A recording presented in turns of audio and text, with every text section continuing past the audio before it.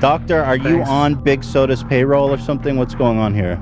Yeah, I mean, apparently I am being paid. Uh, I've not seen any money yet, which is quite unfortunate. I didn't hide the fact that I worked with the ABA to educate people on the safety of a aspartame. I literally put paid partnership. I didn't hide the fact that I worked with the ABA. I didn't hide the fact that I worked with the ABA.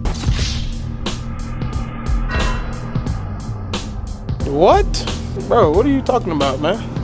Okay, so this guy's at it again. Our good friend Dr. Idz, who I said in a statement that he was being paid by the American Beverage Association for doing clips on aspartame to say that they're safe and may even have benefits. And here he is saying, yes, he does take money from the American Beverage Association. So I guess, I guess we're done here.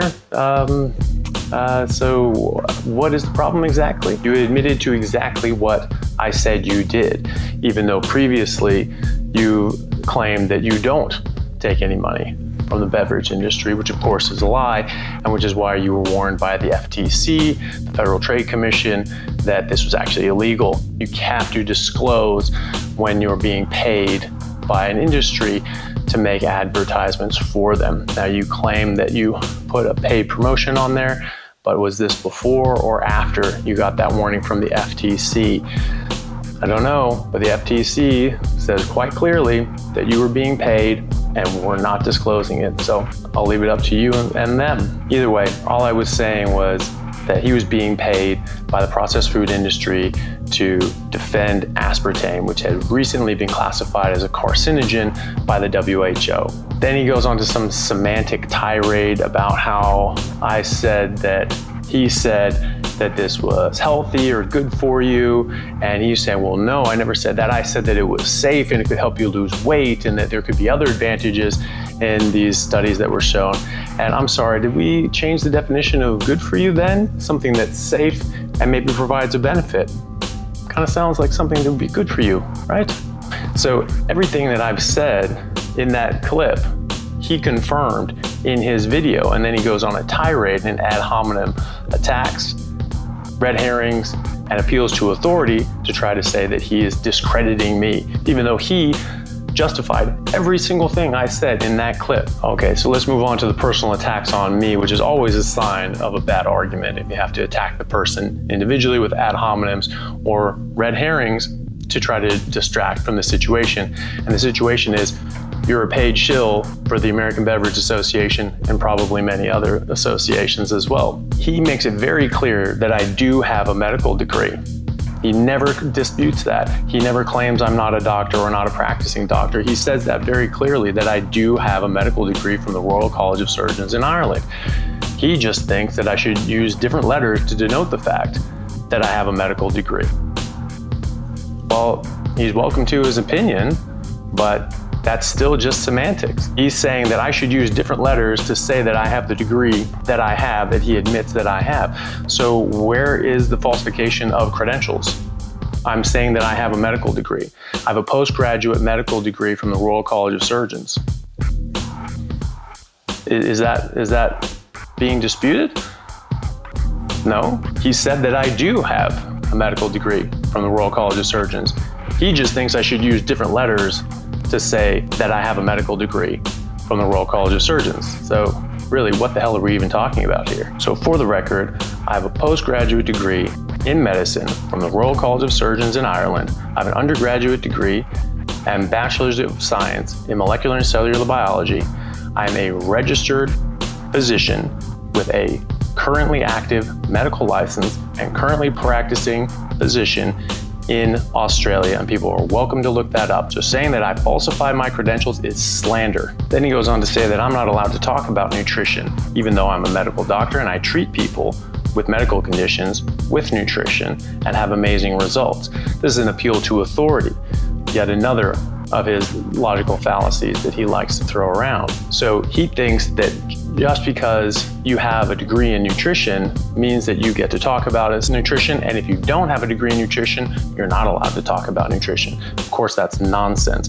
People can study nutrition. People can be, even be a researcher in nutrition. The only thing you have to do to become a researcher in a certain field is to do research and to study a, uh, an area very closely. Just look at the definition, for the word research and then draw your own conclusions. I have a degree in molecular and cellular biology, a degree in medicine. I've taken nutrition classes, and I've spent years independently studying the research and literature on nutrition and its effects on the human body and condition.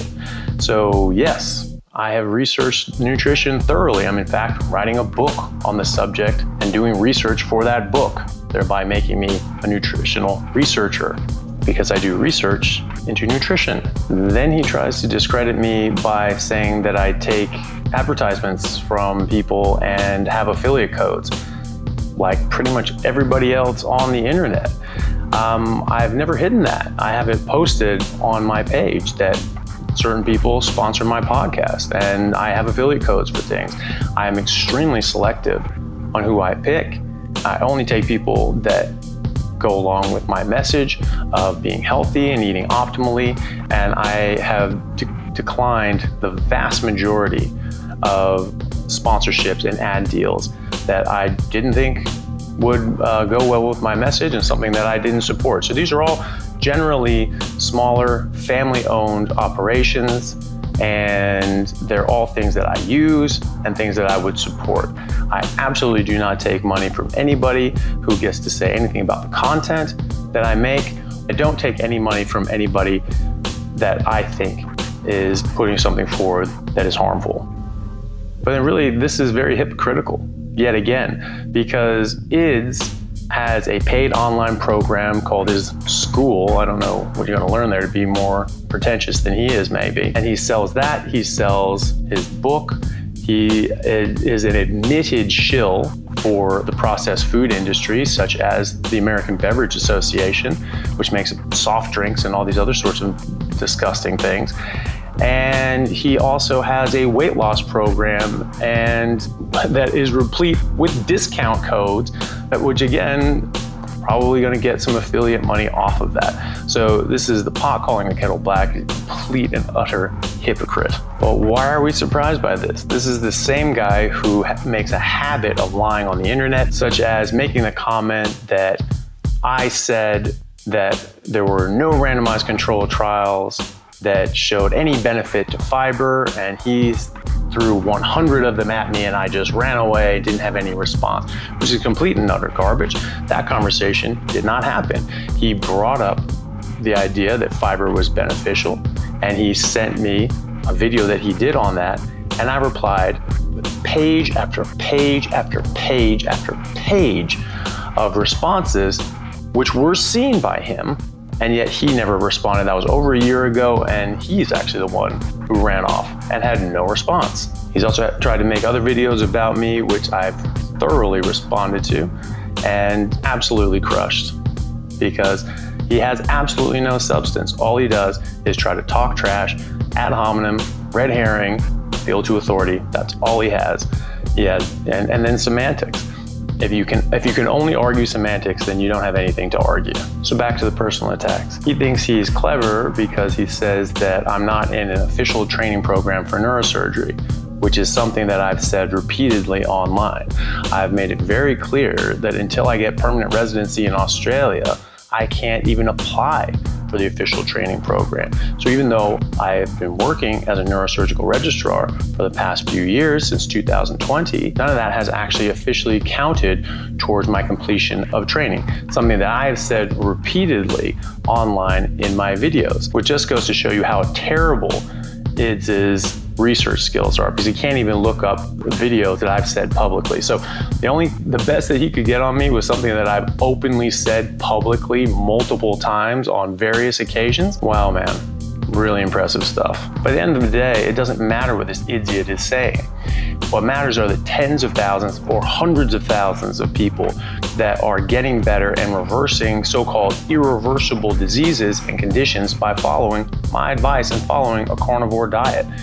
I have hundreds of patients who are all improving dramatically, both from their symptoms and their blood tests and their objective measures, such as MRI, etc., depending on the case and the, and the condition. And so, who cares what your opinion is? Who cares if you think that this isn't a good way of eating? Who cares?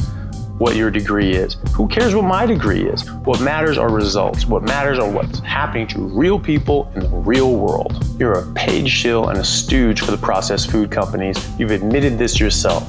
So who cares what you say with all your poorly designed cherry pick studies, most of which were paid for by your big food overlords? You're a joke and a fraud, and no amount of ad hominems, red herrings, and appeals to authority will ever change that. Because of your slander and blatant misrepresentation of the facts, your little troll army is going around saying that I don't have a medical degree at all, that I'm not actually a doctor. But even though you have said clearly that I do have a medical degree, you just didn't communicate this properly enough for your troll army to actually get a clue, I don't see you out there correcting the record, which just shows your lack of integrity on top of everything else. But who were we really kidding? Did we think you had any integrity after all of this? No, we definitely did not, because you don't. So keep being a troll if you want, and keep just talking trash about everyone else instead of doing something productive in your own life.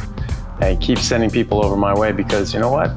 All you're doing is driving up my algorithm. All you're doing is making my post more popular and driving them out to more and more people. So please, keep it up all day. I really couldn't care less. But if you're gonna keep doing this, at least get your facts straight and stop arguing semantics like a loser. Pick something of substance and have an actual debate like an adult instead of a child who's throwing a tantrum because he got called out for doing what you're doing.